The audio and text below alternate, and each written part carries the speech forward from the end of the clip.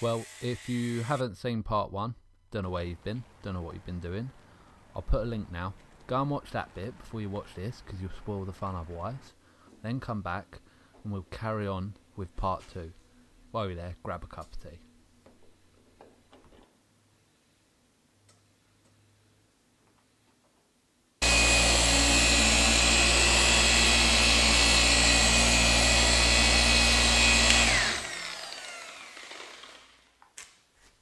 With the cutting stage now complete with our H9, is on to Meguiar's M205 to refine the paint and bring it back to its true luster, clarity and glory.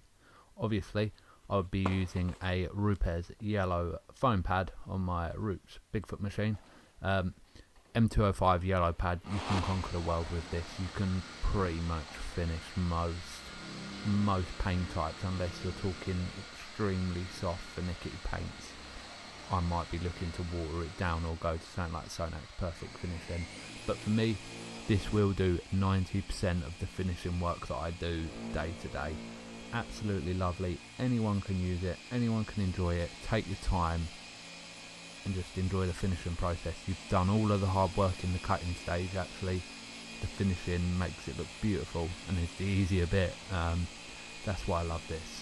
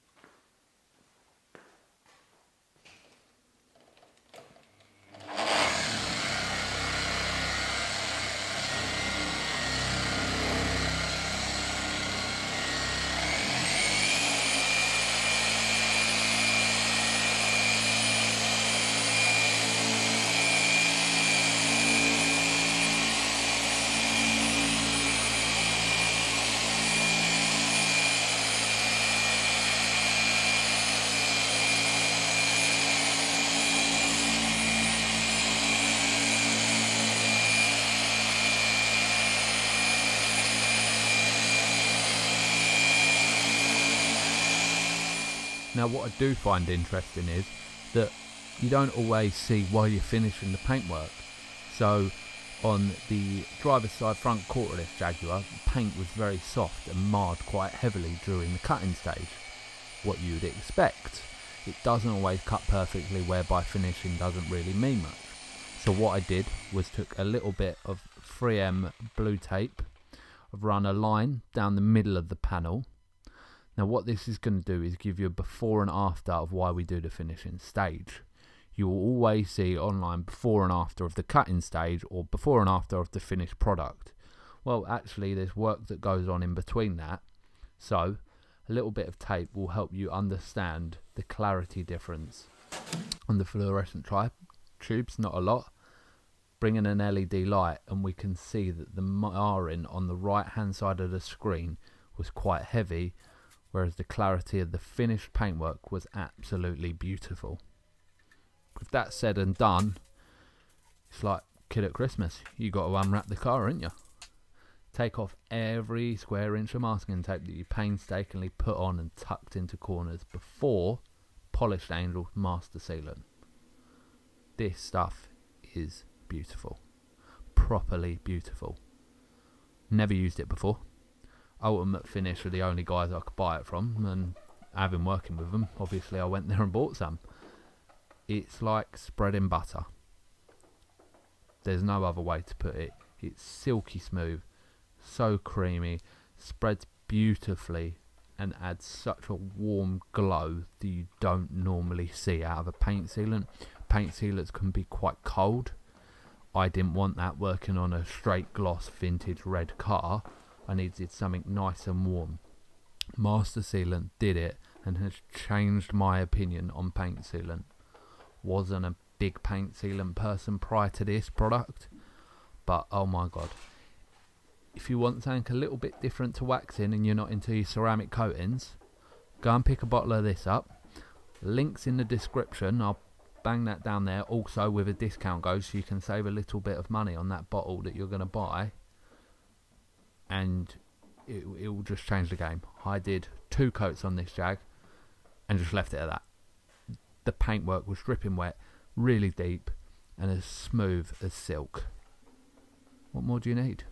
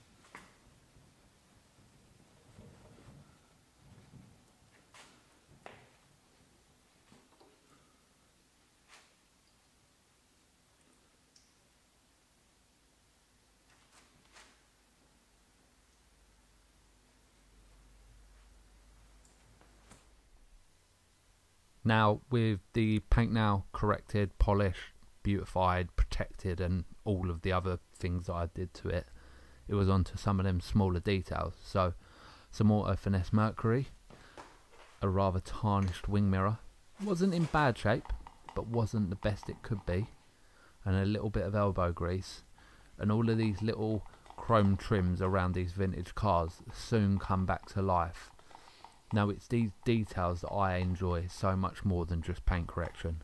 Everyone sees paint correction as detailing. It's not. It's polishing paint. It's actually taking the time to work out what then enhances that paint.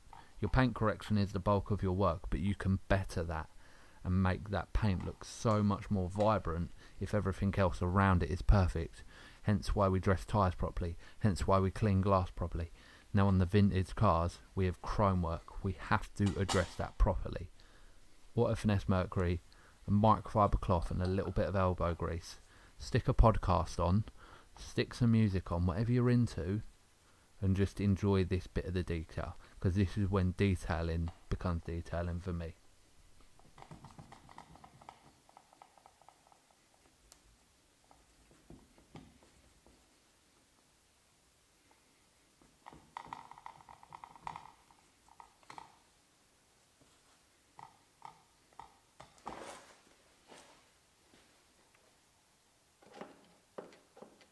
Now, another one of the little details on this Jaguar for me was the rear lights. Someone had murdered these with a bottle of Autoglym Super Resin polish at some point, I swear, because they were super, super white. Unscrewed them, four screws, not particularly hard. Gave them a clean with some APC inside and out, so the lens is clean on the inside, so actually you're going to improve the, the actual usability of the light when it's back on the car. Next, I took my 3 inch polishing machine I've used a Rupes wool pad and some M101 slightly deviated from the H9 because it gave me better results on these lights. Basically what I've done is I've used a cutting compound I've cut the lights I've taken the swirls and the scratches back out of the lights. Obviously what does that do? It induces marring like we saw on the paintwork. I've then used a bit of 205 you can see the yellow pad lined up on the bottle already bit of 205 and refined them. The finished result, again, is just one of those little details that add up and add up and add up. I thought they looked absolutely delicious when I bolted them back on the car.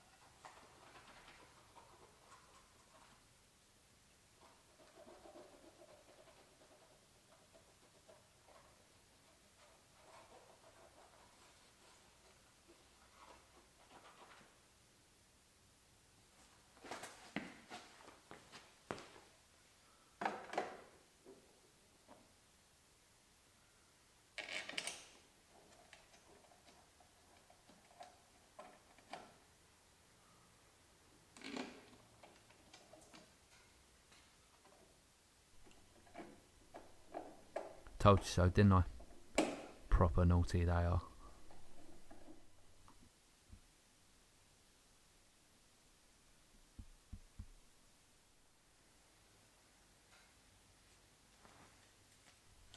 The same was done as the tail lights with the number plate light. The lens was cleansed, polished, and the chrome surround was also polished as well. A little tarnished, but a big improvement on the clarity and the shine to the end product all the little details that add up. And once the chrome was done, once the lights were addressed, it was time to tackle the engine bay. Difficult one this. It's not the best engine bay I've seen in any type, but it certainly isn't the worst. So I just took some wire wool, extra fine 40 grade, mercury metal polish again, bit of my go-to at the moment. Um, and just again a bit of time and just go around and work out all them areas that are meant to be highly polished and bring them back up to that You're not going to set the world alight because actually you could spend two weeks on an engine bay alone. But all of those little details that'll actually just make the engine bay a bit brighter, a little bit more vibrant. And then once I'd done that, I took a little bit of hand polish and polished the underside of the bonnet. The underside of the bonnet on this proper motor, no sound insulation, none of that, pure paint. So I took some hand polish, microfiber applicator, just went at it. I used hand polish because I didn't want to have to go through the stage of dragging leads around everywhere. It's not a show car. It's not going to be inspected under the bonnet. It's actually de designed to be a daily driver for the owner. Um, so I wasn't going to go absolutely crazy. But the hand polish brought some clarity, some reflection, some sharpness back to that. And because it's a hand polish and all in one, had a little bit of protection in there as well. So when the car gets washed and the water leaks into the engine bay, it'll rinse off a lot freer sort of stopping any sort of potential water markings that might happen in the future. Again, just another little thing that adds up and adds up.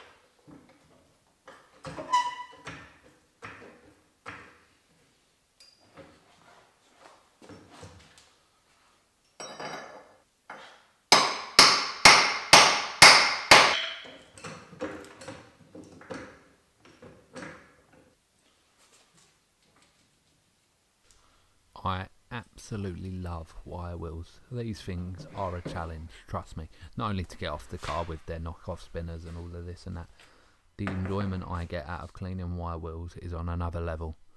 Um, bit of an insight time wise for you on this.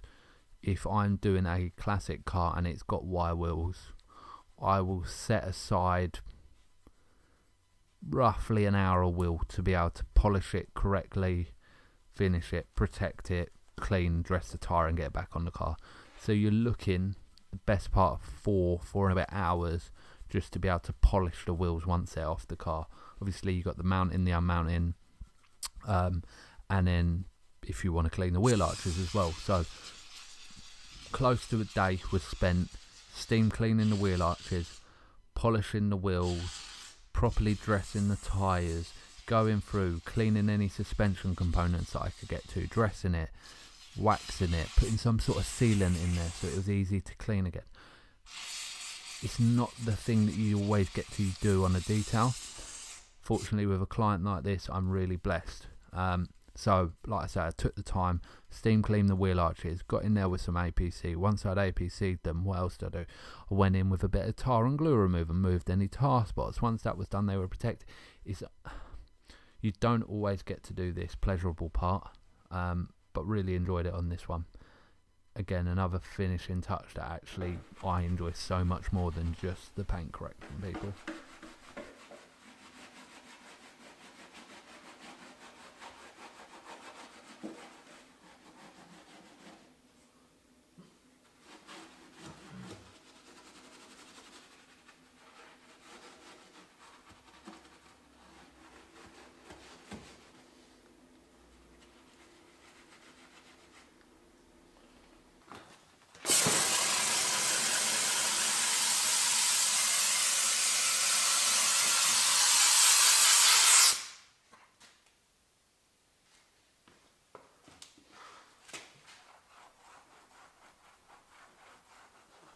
Um, before I get a comment about it, because I know you'll like the finish of this, um, the tyre dressing of choice was Gloss Gummy.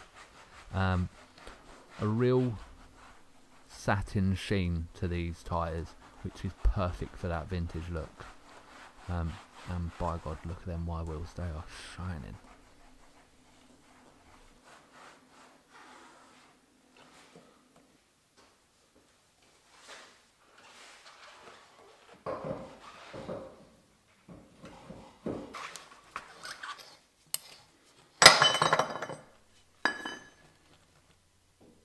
With that, the exterior of the car was done. Just a little bit of work on the inside, please.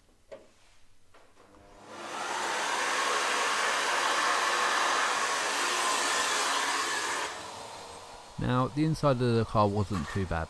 As you would expect, it's not like a Ford C-Max whereby you've got sticky wrappers and chocolate spill everywhere. It's quite a respectable car, this one.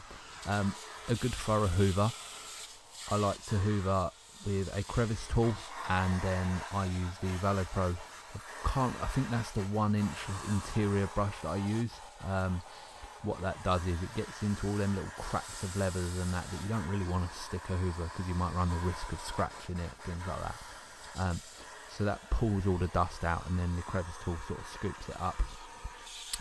Once that was done it was a bit of an interesting one on this car.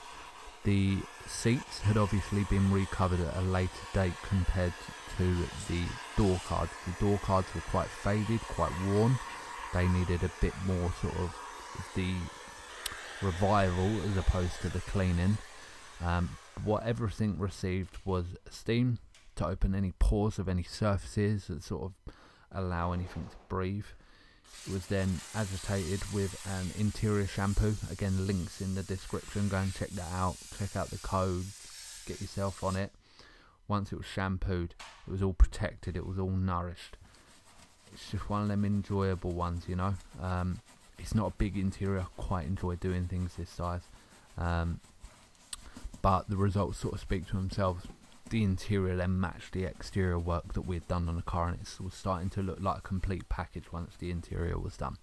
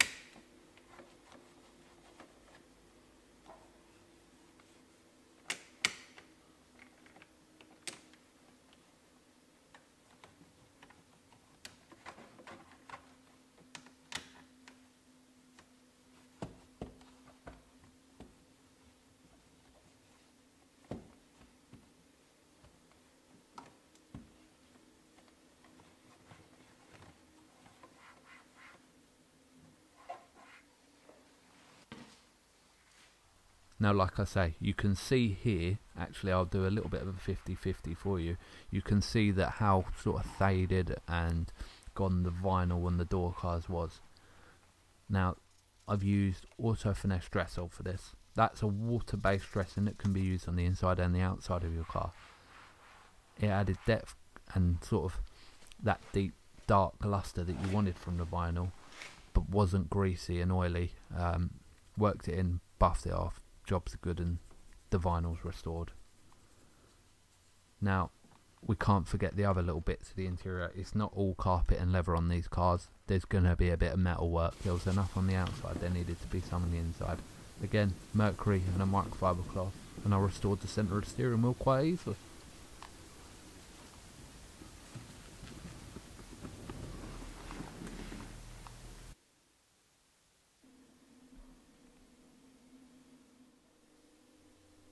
With that said and done, this detail has come to the end. Extensive wash process, extensive polishing, extensive detailing to the exterior of the vehicle, the underside, the wheels, the engine compartment and the interior and I think the results speak for themselves. Enjoy these beauty shots and I really appreciate you watching. Again, thanks to the guys at Ultimate Finish for supporting the channel at the moment. Code Joe10 banged on about it enough. Go and get on it. Go and buy yourself some of that Polish Angel Master Sealant because it's the nuts. As always, thanks for watching. Please share this video, like it, subscribe to it, whack a comment down in it if you've enjoyed it. And I will see you on the next one. Cheers.